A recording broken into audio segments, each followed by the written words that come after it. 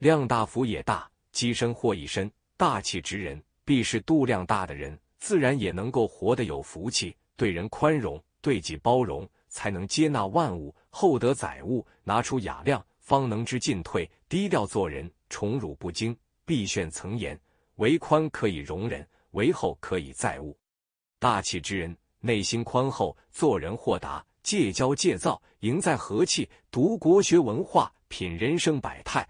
欢迎订阅《国学新旅》。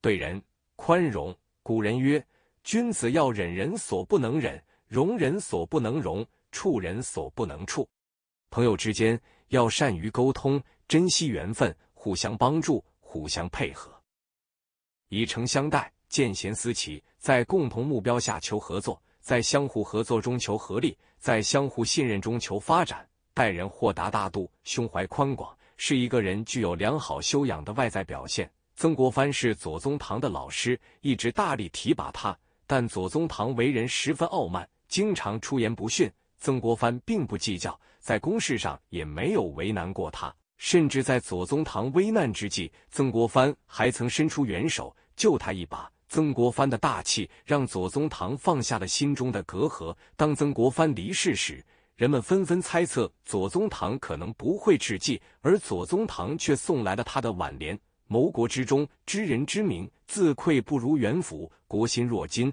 攻错若石，相期无负平生。”对人宽容是一种修养。金无足赤，人非完人，学会宽容才是一个人的大气与格局。《汉书》里说：“水至清则无鱼，人至察则无徒。”水太清了。鱼就无法生存，要求别人太严了，就没有伙伴。很多人眼里揉不得沙子，凡事总要有个计较，这样固然爱憎分明，但是却常常毁掉了自己的人际关系。遇到不顺意的事、不顺心的人，不妨大度处之，一笑置之。大气之人有大胸怀，能容忍，能谅人，面对无常，随遇而安。唐代刘禹锡在永贞革新失败后。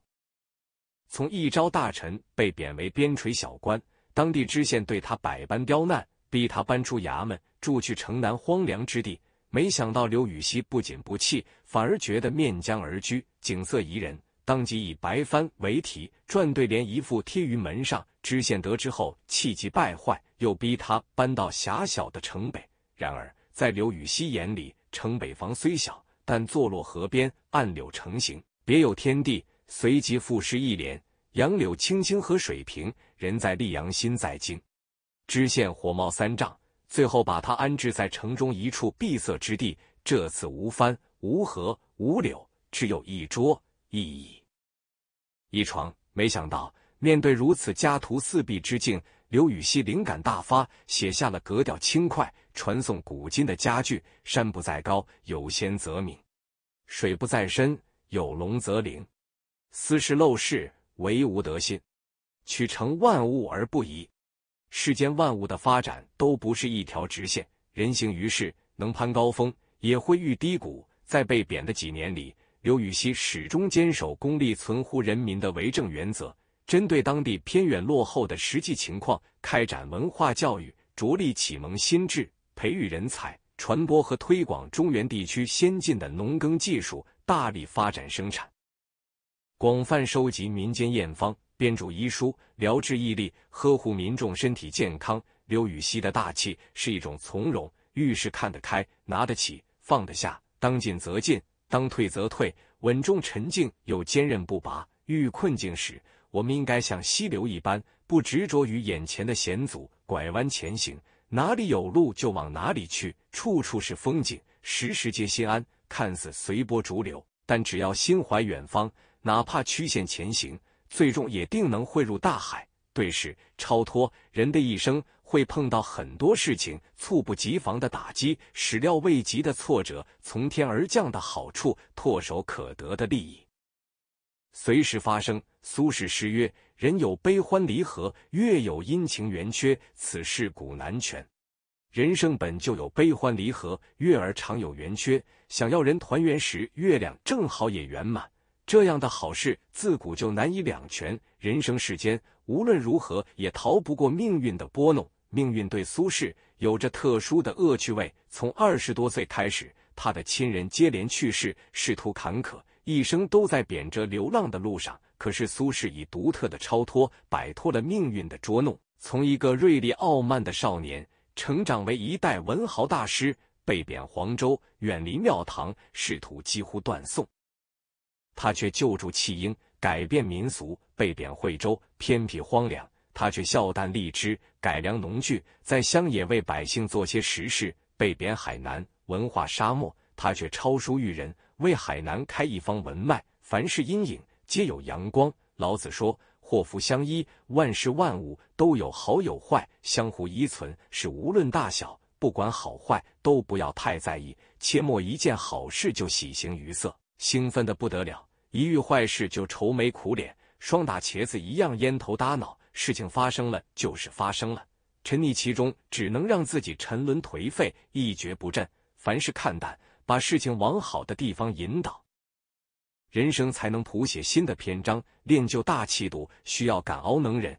非洲大草原里存在一种蝙蝠，专门靠吸血为生。细心的游人发现，很多野马都被这种蝙蝠吸血而死在了草原上。后来有相关的专家过去研究，研究发现，蝙蝠在野马上所吸收的血量，完全不至于让野马就此死去。真正致使它们走向死亡的，在于当蝙蝠吸附在野马的那一刻起，惊慌失措的野马就开始愤怒暴躁狂奔。野马越狂躁。蝙蝠越吸附的更贴实，最终野马劳累而死。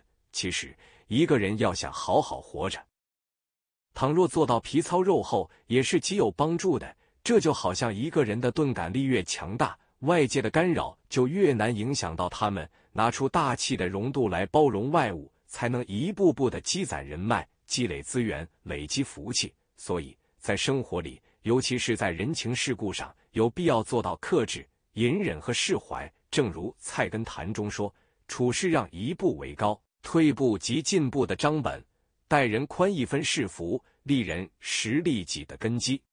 学会大气做人，收起脾气，这是一种成长修养，也是一种人格魅力。面对烂人烂事，学会及时放下，告诉自己保持好心态，才能得到好状态。有了好状态，才能成就自己的未来。”大气大度是强者的习惯，也是强者的思维。何谓大气？孟子这般说：居天下之广居，立天下之正位，行天下之大道。得志与民由之，不得志独行其道。富贵不能淫，贫贱不能移，威武不能屈，此之谓大丈夫。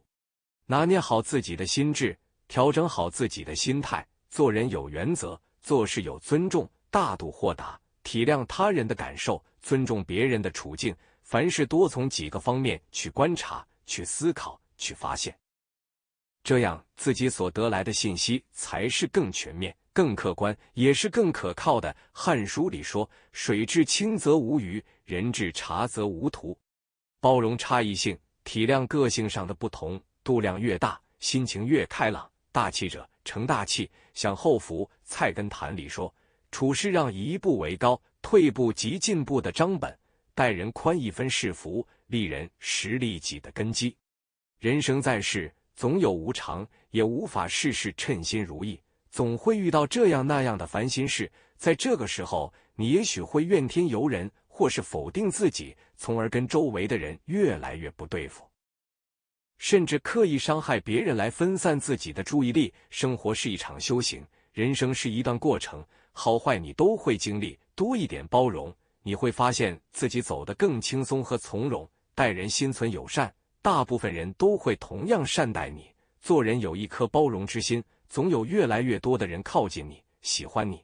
一个人只有愿意让自己不断的包容自己和他人，积极的接纳新事物，刷新思维，才能避免大脑固化，也会让自己每天都接收新知识。当一个人变得越来越包容，不管对人还是对物。倘若都抱着一股非常浓烈、也非常阳光豁达的精神去面对的时候，总能够在不好的事物里看到好的一面。人无完人，金无足赤，保持宽容，精进自己，正是不足，但也敢于及时改变，然后包容自己，努力提升，才能一步步走向强大。一个人强大了，成器了，自然福气就来了。人生不如意事十之八九，面对逆境，不妨做一个大气的人，洒脱起来。正如林徽因所说：“温柔要有，但不是妥协。我们要在安静中不慌不忙的刚强。”以上就是今天的全部分享。如果你也喜欢本期内容，欢迎持续关注、点赞、订阅。